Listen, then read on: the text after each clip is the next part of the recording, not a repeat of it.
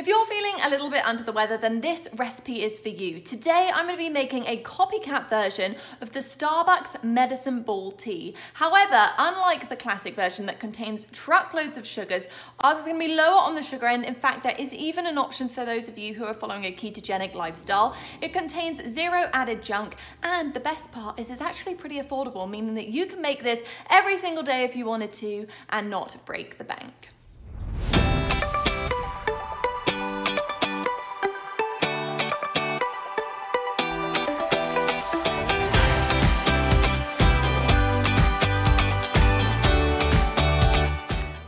Metabolic Living family? Welcome to our YouTube channel. If I haven't met you yet, my name is Bella. I'm the lead nutritionist and recipe developer here at Metabolic Living. Very, very excited to be sharing this one with you. This is actually one of my favorite drinks, and before I realized that you could make it at home, I would honestly go to Starbucks and get it because it was just so soothing and delicious, and it really felt almost if I if I felt like I had something coming on, it felt like it was really doing me good. However, when I looked at the ingredients, I was pretty shocked at the amount of sugar. There's actually a ton of sugar in just one small medicine ball tea at Starbucks. If you don't know what medicine ball tea is, it's essentially a really delicious, soothing and warming drink with all sorts of delicious flavors like peach and mint and honey and all of that good stuff. We are gonna be making our own at home today and it's very, very simple. What you're gonna need to start off with is a cup of water. Now, what I love to do just to make sure I'm getting the exact amount is get your favorite mug, fill it up with water and then just pop it into a saucepan like so. Now here is the secret sauce, the special ingredients that are gonna make this one taste even better than the one at Starbucks. What you're gonna need are two types of tea. Preferably try and buy organic if you have access. If not, then these ones are gonna do just fine, the tea Teavana. So the first tea bag that you're gonna need is some sort of minty tea. So I really like to use peppermint, you could do spearmint, you could do a blend of mint tea, whatever um, you, again, you have access to. Just make sure you're checking for all sorts of weird added sugars and ingredients um, that they might pop in there. The other thing you're gonna need is one peach tea bag. Now you can get plain peach tea, but there are also a lot of peach blends out there that actually also taste delicious. Now this Teavana one is not organic, but I honestly could not find an organic one at my store. And this is actually the one that Starbucks do use in their medicine ball tea recipes. So bottom line, you need one mint tea bag and one peach tea bag. You're also gonna need one lemon. Now you can adjust this to taste. I love to use half a lemon in my medicine ball tea, but if you like it a little bit more zesty, feel free to crank that up, or you can also decrease it if you fall on the opposite end of the spectrum. And then we're gonna be moving on to sweeteners. So there are several different options here, but these are the two that I kind of switch between. Um, the first one, and this is gonna be great for you if you're following a low carb or ketogenic lifestyle, or you just don't want any added sugars, maybe a great um, option for you if you're planning to drink this quite a bit. I would recommend using something like monk fruit sweetener or swerve like so. Um, these are actually sugar alcohols. They contain no um, added sugars or carbs that are gonna spike your um, glucose levels um, and also lead to things like cravings, but could also lead to weight gain as well. So if you're kind of conscious of that, um, I would opt for Swerve. I start off with two teaspoons of any sweetener, but feel free to adjust it to your taste. The other sweetener that I really love to use is Manuka honey. Unlike any artificial honeys that are pretty much just straight sugar, Manuka honey actually contains a ton of different health benefits. It's a really awesome one. If you feel like you're coming down with something, Manuka honey is awesome to include. Just a fun little tip, honestly, having this in your medicine cabinet works wonders. Like if you have like a cold sore or something, perfect to just pop on there.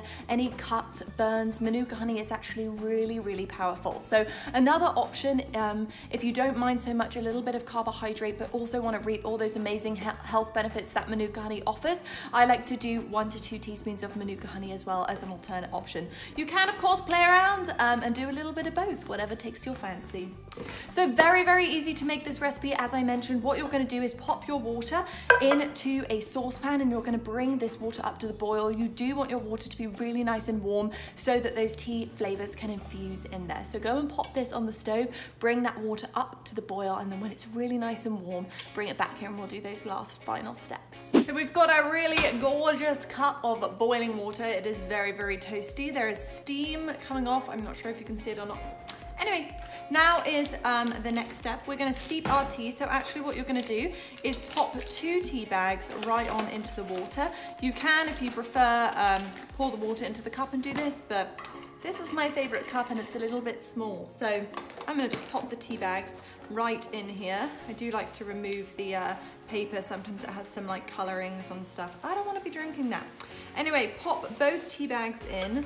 And what you're gonna do is actually just leave them to steep for about five to six minutes so those flavors really, really infuse um, and they just taste absolutely delicious. Our tea has steeped. It smells amazing. It's got a really uh, like a dark, gorgeous color. So we are ready for our last steps. Adding that gorgeous lemon in. So just squeezing that in. Lemon high in vitamin C. Also gonna add some delicious flavor in here. I just get a few pits, see? And then we're gonna add our sweetener. So I'm actually, just for today, gonna add a teaspoon of both because why not? So popping in some Manuka honey in there as I mentioned, when buying honey, please either try and buy Manuka or you could also do some like raw local honey, but Manuka honey really has been proven time and time again to have the most health benefits. Sadly, a lot of honey on the shelves isn't actually honey at all. It's like natural flavors that taste like honey um, and a bunch of sugar. So please be aware um, and just make sure you read those labels and check out that sourcing when you're buying honey. I'm also gonna add teaspoon of the swerve just to show that both work and both are delicious in this recipe. Awesome. So stir it all together. This smells just like the medicine ball tea at Starbucks.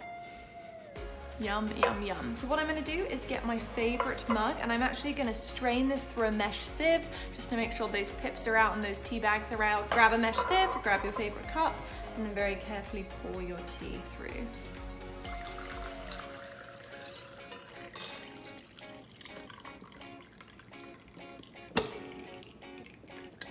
Beautiful.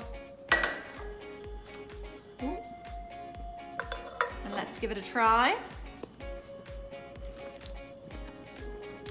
Unbelievably delicious. Yum. And there you have it guys, really, really simple. I mean, I don't know about you, but why bother going to the store, spending like $5 on something that's really just packed with loads of sugar when you could actually make your own that actually contains those antiviral and antibacterial properties right in your house. Very very simply literally in under probably I guess 10 minutes because you have to let, let the tea steep but very very affordable too. You can make them for your entire family. You can make them throughout the winter season. It's definitely going to be your new favorite drink I can assure you I would love to know on the note of coffee shops what your favorite coffee shop drink is. Maybe I can do another copycat recipe. Let me know if you'd like that. Other than that, thanks so much for hanging out with me. I really hope you guys stay safe, stay healthy, especially over the winter months. Um, enjoy your medicine ball tea and I will see you all very, very soon in another recipe video.